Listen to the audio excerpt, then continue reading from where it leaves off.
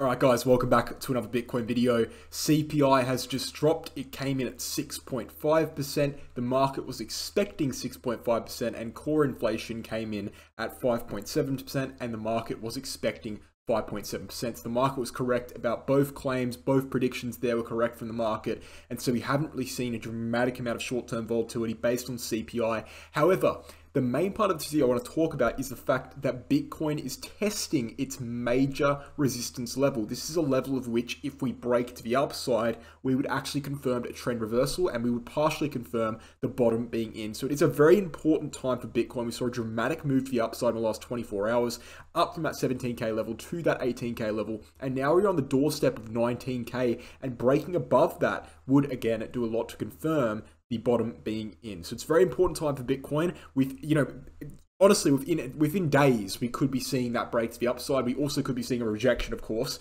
uh, and and so it is very important. We do need to look into that. So let's get into it in a second. Before we get into the video itself, we've got 48 hours remaining on the VIP sale. That's a 30% discount on all three month memberships on the VIP group. If you're interested in that, you can take advantage of it in the description or the pinned comment.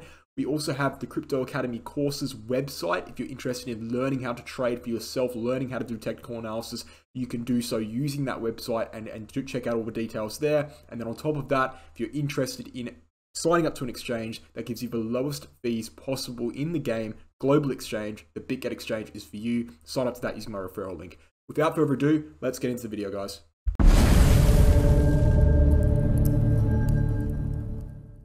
So jumping straight into something like the four hour chart, which gives us a kind of shorter term view on Bitcoin, and also relating it back to CPI, we can see the most recent four hourly candle. By the way, CPI literally came out 15 minutes ago the time I'm filming this. The most recent four hourly candle did see some volatility down to 1700, uh, sorry, 17,900, all the way up to 18,300. But ultimately, that's only a candle uh, ranging in about a two to two to three percent range, two and a half percent range, which is nothing compared to other CPI releases. Again, I'll repeat myself. The reason why we didn't see a major move at CPI is because inflation came in at the expected number. The market priced in a 6.5% inflation rate. The inflation rate is in fact 6.5% you only really see dramatic moves when there's a deviation between or a difference between what the market expects and the actual number. That's when you see the moves occur. For example, if that was to come in high, we would have seen a bearish move. If it was, if it was to come in lower than 6.5%, we would have seen a bullish move, but it came in the same, so it's neutral.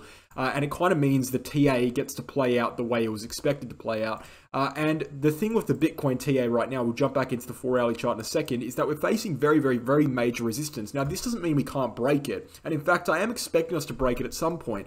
Um, you know, we've looked into many, many times, and I'm not going to repeat myself too much in this video because I've done it in the past a lot of times, We've looked into the four year cycle. We've looked into the fact the four year cycle kind of expects the bottom to be in at this point. We've looked into, uh, for example, the def cross on the DXY and how every time that daily chart def cross on the DXY occurs, we see a pump on Bitcoin. We just saw that a few days ago. We've looked into multiple things here. We've looked into, uh, you know, when Bitcoin's expected to get above 30K, which would be April 2023. And if we're going to get there, we're going to have to start moving pretty shortly, of course. We've looked into uh, Bitcoin's distance from the halving to the bottoms every single cycle uh, from halving to bottom every single cycle. In fact, I might have the chart somewhere.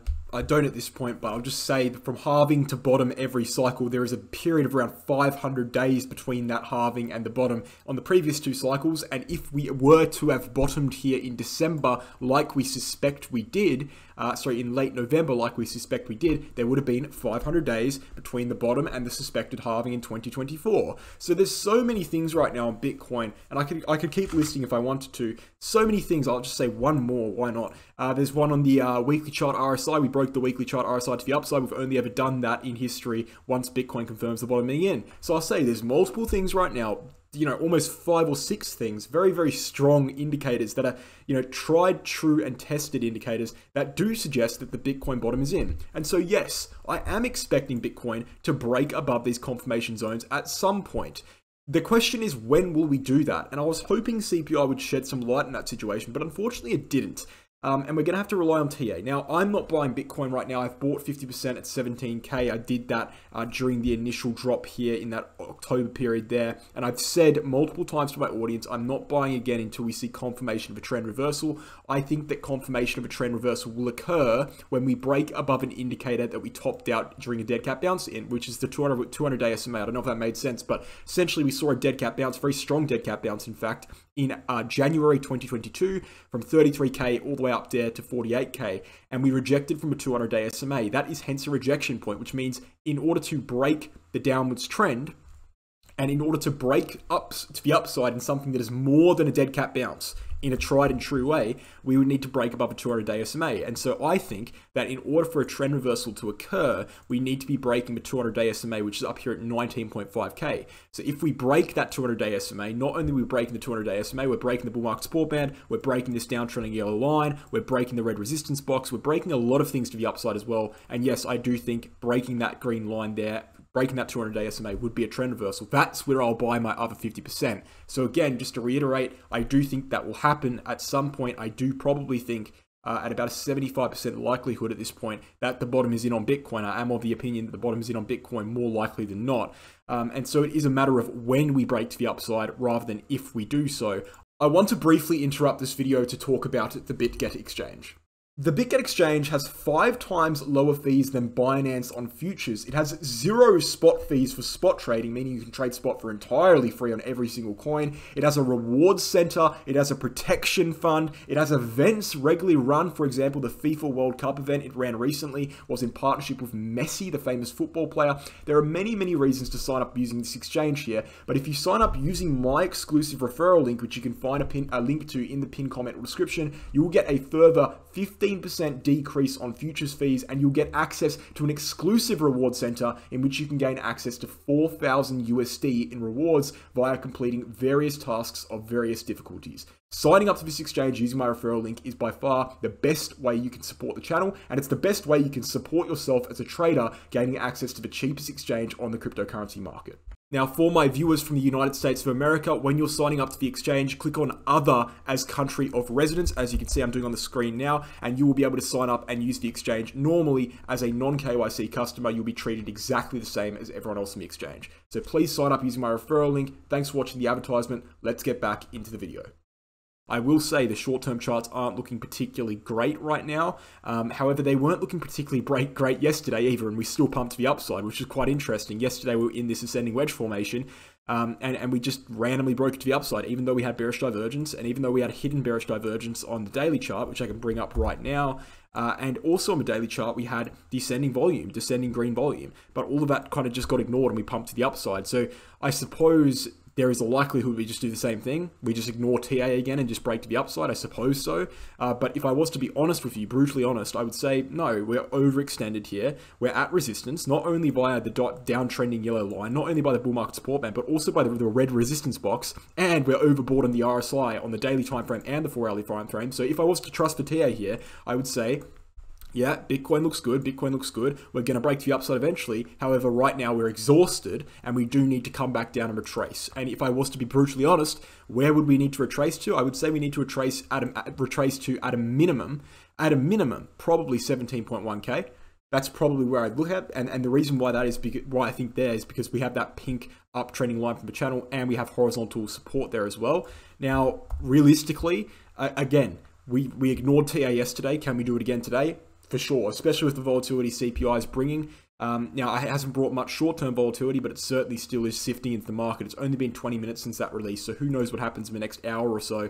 Uh, you know, I won't be able to uh, cover that because I'm, I'm, obviously making a video right now. But as of right now, I would say that, you know, the four-hourly chart, the daily chart, they're not looking particularly strong. Um, however, regardless of what they look like right now, I do think we'll see a breakout to the upside eventually. So that's quite interesting to note as well. Um, you know, we had a breakout on the total cryptocurrency market cap above that red resistance zone. However, we are still in a similar fashion to Bitcoin below resistance on the total cryptocurrency market cap. Ethereum is in a different situation here. Ethereum's actually skyrocketed to the upside. It's broken above bull market support band, broken above 200 day SMA, broken above its yellow downtrending line, which is stemming all the way back here from May. Ethereum is ahead of the market right now, and the reason being is because it had it had actually an ascending triangle formation, unlike Bitcoin and unlike the total cryptocurrency market cap. So Ethereum has taken off a little bit here here, uh, and it's moved ahead of the market, it's ahead of the ball here.